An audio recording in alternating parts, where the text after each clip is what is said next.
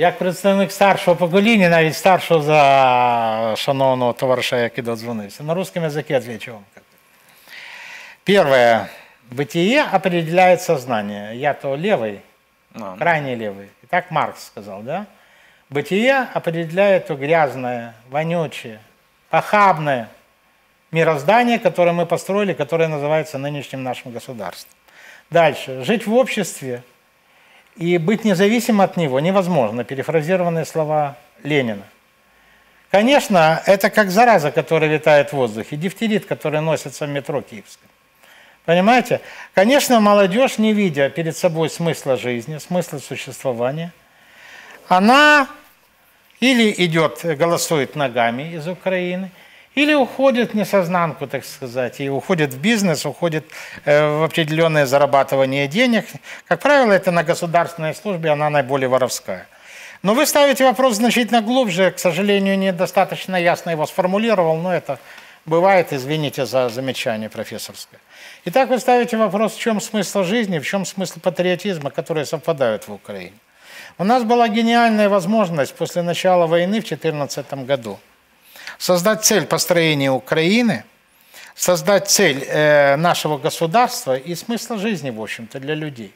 Мы знали в социалистическом государстве, одни это и верили, вторые иронизировали, но у нас была цель – построение коммунистического общества. Не нравится – excellent.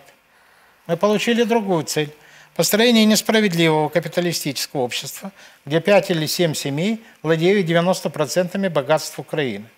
Сейчас слуги пропустят через парламент закон о рынке, и 5 или 7 олигархов арабских, еврейских, э, британских, китай, ну китайские вряд ли, они слишком умны, чтобы э, брать по частям Украину, они захватят ее целиком.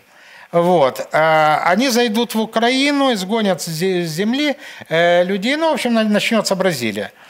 Помните, фавелы и прочие де- дела. Я к чему? У нас нет цели построения общества українського.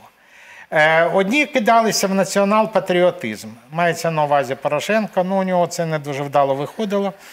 Е, Інші е, намагалися будувати на прагматизмі і так далі. Я вам скажу, для того, щоб поставити цель і задачу, треба бути талантливим чоловіком. Понимаете, для того, чтобы написать э, цель развития того или иного государства, надо быть просто даже уметь писать. Это вам как литератор скажу. Суммируя, не распространяясь, не забирая ваше мнение, в Украине нет цели развития, которая бы вдохновила молодых людей сейчас, если, не дай бог, случится, подняться на войну и стоять в очереди военкоматы, как в 2014 году. У них нет перспектив видения будущего страны, и это приводит не только к экономическому кризису, коллапсу, который нас ждет, но и к моральному кризису. Чем это закончится? Это закончится однозначно социальным конфликтом. Я бы предпочел слово революция, но революция – это табу на нынешних каналах. Поэтому, скажем так, это закончится социальный конфликт. Разумеется, мы встретим э, через 20-30 лет Украину уже не в том э, территориальном объеме, потому что Крым уже не наш, Донецк уже не наш, Луганск это не наш. Они же будут сопротивляться до последнего, когда узнают, что их земли предстоит продать.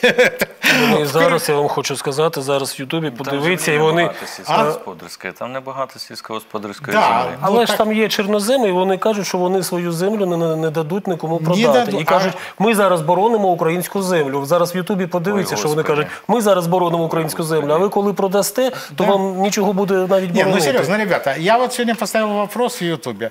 А мы крымскую землю уже продавать можем? Ну, якщо це У Україна, наших, то... у наших Да. ну, правда, слава богу, это не предыдущий парламент, э, этот, не предыдущая власть, но это, на этой тоже будет это.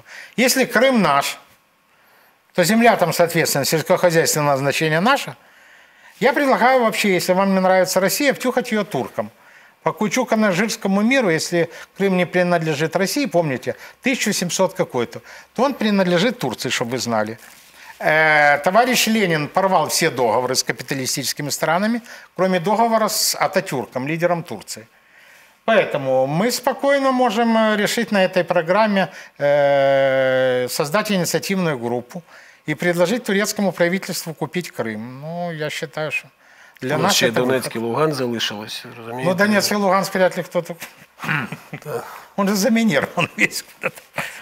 Зрозуміло.